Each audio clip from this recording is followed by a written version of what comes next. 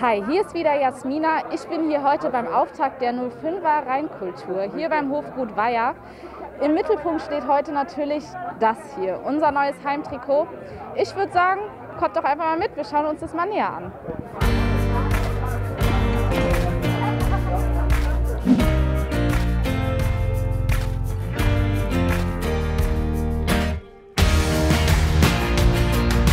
Das passt 100% zusammen. Ja. Also Mainz 05, die Mainzer Lebensart, die rein hessische Lebensart, der Wein, das vereinigt sich alles auf diesen Hoffesten. Während der Spiele ohne Zuschauer haben wir schon festgestellt, dass uns Zuschauer, Fans elementar fehlen.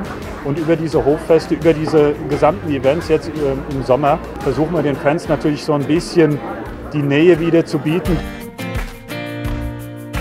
Generell merkt man, glaube ich, den Leuten schon an. Ähm, wir sind einfach froh, dass wieder ein bisschen was passiert rund um Mainz 05.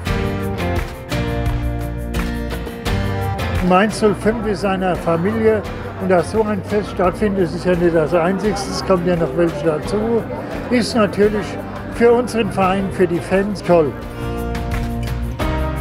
Ein großes Thema heute war natürlich auch hier äh, unser Outfit, das neue Heimtrikot. Was sagst du denn dazu?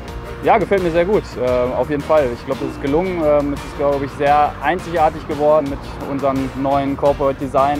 Es ist wieder ein besonderes Highlight zu Beginn einer Saison, dieses Trikot. Auch für mich war es eine große Ehre, dieses Trikot präsentieren zu dürfen.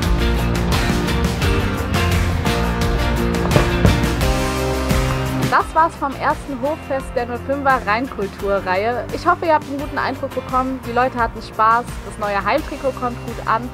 Und die nächsten Wochen, die werden auch sehr spannend. Und zwar stellen wir natürlich auch noch die anderen Trikots vor, Trainingsauftakt. Und es gibt natürlich noch weitere Hochfeste und andere Events. Da könnt ihr euch auf der Website näher drüber informieren. Ich kann es euch nur empfehlen. Bis dann.